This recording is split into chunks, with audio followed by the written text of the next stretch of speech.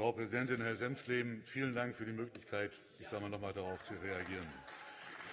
Also erstens, Herr Senftleben, ich bin mehr als optimistisch für die Zukunft dieses Landes Brandenburgs, weil ich glaube, dass die Einwohner und die Bewohner des Landes Brandenburg in den letzten 25 Jahren gezeigt haben, dass sie Strukturumbrüche nicht nur annehmen, sondern dass sie sie auch gestalten können.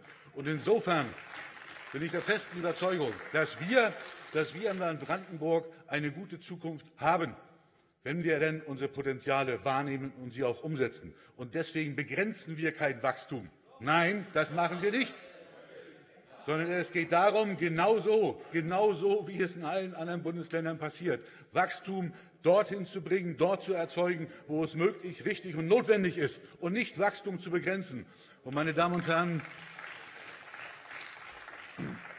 wenn ich mir die Steuerdeckungsquote des Landes Brandenburgs angucke, dann kann man doch nicht im Ernst davon reden, wir sind jetzt bei über 70 Prozent, dass wir in den letzten Jahren Wachstum begrenzt haben. Nein, das haben wir nicht.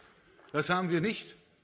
Was, wir, was gemacht werden muss, und ich glaube, in dem Punkt der Senfleben werden wir uns möglicherweise auch inhaltlich annähern.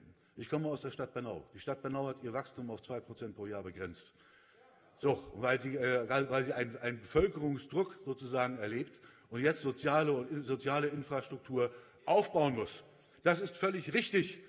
Aber das ist ein gesteuertes Wachstum und, keine, und nicht Begrenzung von Wachstum, sondern das ist das Herstellen von Verfügbarkeit, von Fläche, von sozialer Infrastruktur, um genau mit dem Wachstum umgehen zu können. Und insofern nochmal ist das, was äh, aus meiner Sicht Ihr zentraler Vorwurf, dass wir Wachstum im Land Brandenburg begrenzen bzw. Äh, äh, nicht zulassen wollen, schlicht und ergreifend falsch.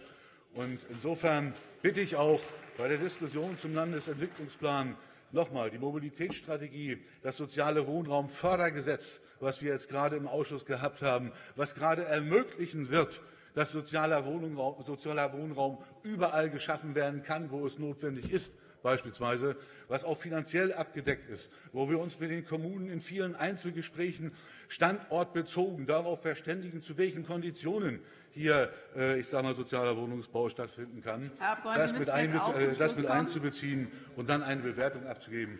Ich befreue mich jedenfalls auf die politische Diskussion im Weiteren. Danke. Danke. Wir sind jetzt beim nächsten Redner. Das wäre der Abg. Raschke.